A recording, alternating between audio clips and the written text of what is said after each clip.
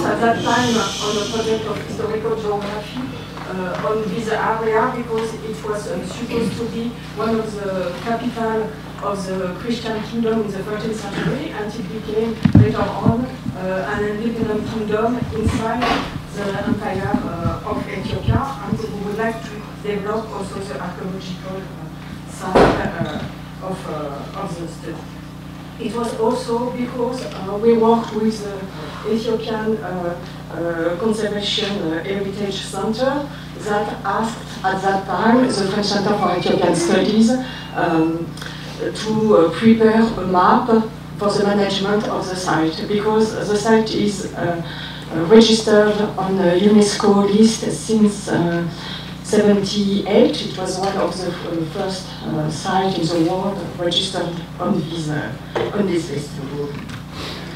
So we built at that time an uh, interdisciplinary uh, team, and uh, I have to say that uh, uh, French Center uh, is a very good place to build such a team because it's a place where people of different disciplines can meet.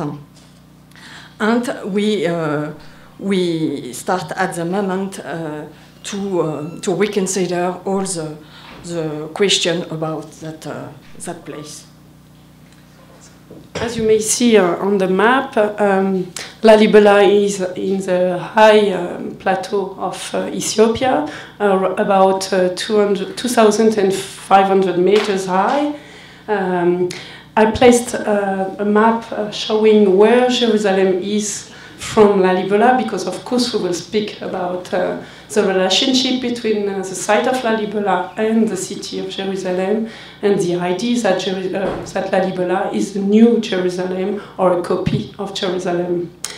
So, according to the common knowledge, Lalibela, when we began to work, was considered as, uh, as Claire said, the capital city of the uh, Christian kingdom.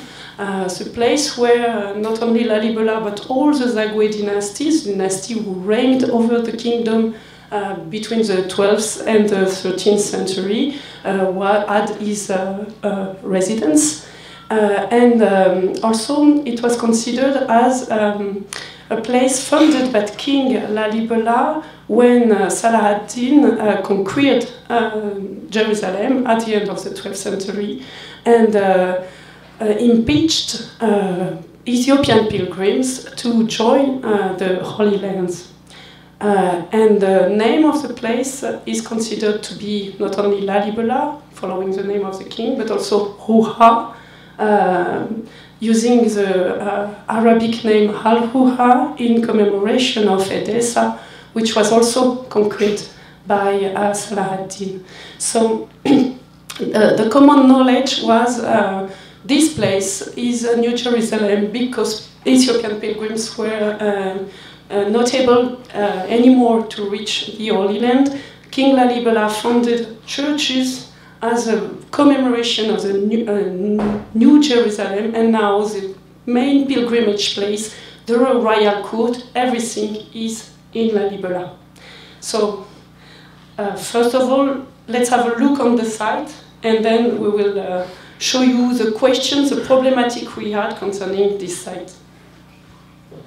So yes, we will start with a small tour in order to give you some landmarks for the next uh, presentations. So you can see here the site divided in three group of churches in the middle of a small uh, town, a small town that went through a deep uh, mutation these last 10 years, mutations uh, analyzed uh, in details by uh, Marie Bridonneau, the present director of the French Center of Ethiopian Studies.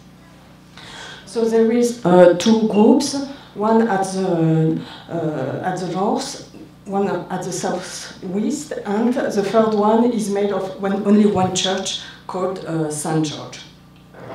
So you can see here the churches excavated uh, below uh, the ground, and here you have the first group of churches with uh, the Church of the Savior of the World, Beta Medhane Alem, in the next courtyard, uh, Beta Mariam, the church dedicated to Mary, and uh, then the complex uh, dedicated to Mount uh, Sinai and uh, Golgotha with the crypt of Selassie.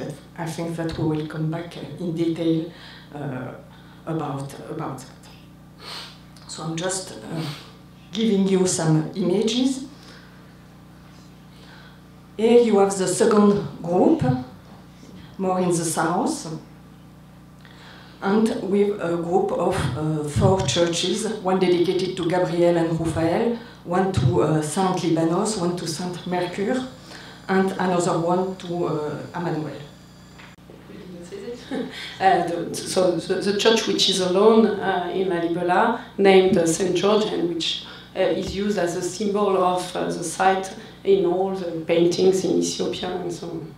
So uh, among all the problematics we had when we began to work was to try to answer to the question of are the churches of Lalibela the um, result of only one project made in one uh, uh, period of time only, or is it the result of many, many different things and uh, projects which were uh, um, added in time?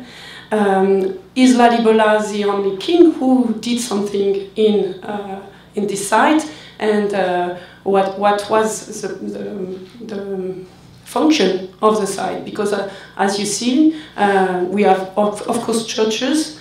You will see we have also cemeteries. And in a way uh, as uh, uh, Florent just said this morning we have uh, churches we have place for dead people but where is the city? Where is the, the settlement area? So it was also and it began to be more and more important for us to answer to this question of the settlement area. And then we tried also to enlarge the focus on the site, and uh, we step by step understood that uh, um, the churches of Lalibela uh, seems to mark also a step in the Christianization process of uh, Ethiopia.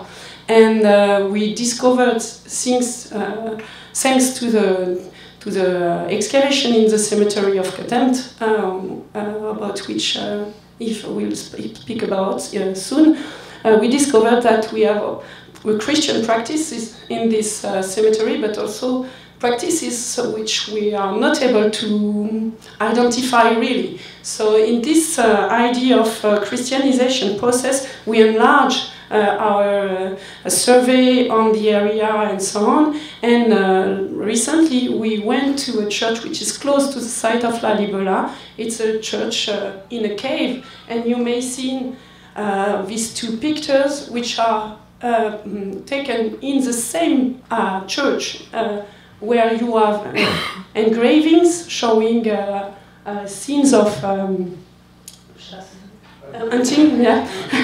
and uh, unfortunately, it's difficult to see, but one of the enter has a cross which is engraved on his uh, uh, body, and you have in the second level a painting which is in this place also. And this painting, we are, uh, for sure, was painted, was uh, present on the site in the 13th century. So the engravings are before this, but uh, we are still not able to date it. But we have many, many uh, I, um, uh, ideas concerning the, the, the, possibility that the Christianization of uh, the area was later than we thought before.